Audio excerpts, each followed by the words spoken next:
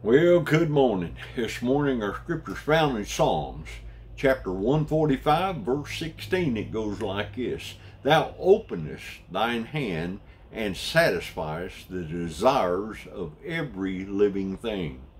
Back in the 1960s, uh, Peggy Lee, she recorded a song called Is That All There Is? And, uh, you know, it, she the song went to a you know a bleak outlook on the world and and how discontent and everything that uh, she she tried to do is that all there is? And uh, what a what a way to look on you know the outlook. And and many folks suffer from that.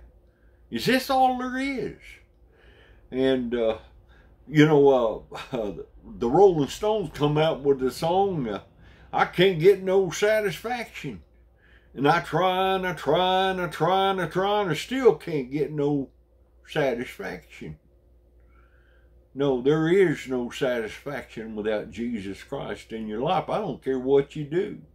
Drugs and alcohol cannot replace it. All that does is just numb and it soon goes away.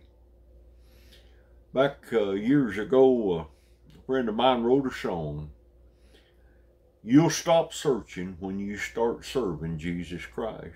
And it goes like this. You'll stop searching when you start serving Jesus Christ. You'll be happy when he is in your life. Seek him with your whole heart and you'll find you'll stop searching when you start serving Jesus Christ. You know, apart from Jesus, life outlook on life is just bleak. It's it just looks like there's no hope. Everything goes wrong, seems like.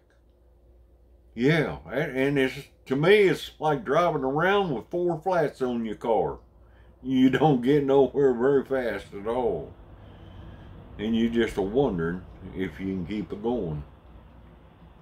C.S. Lewis said, if we find ourselves with a desire that nothing in the world can satisfy, the most probable explanation is that we were made for another world. Yes, we were made by God to live with Him, but we have to accept His, His Son Jesus Christ, the one that died on the cross for us. We have to accept him in our life and let him be our Lord and Savior and follow his commandments.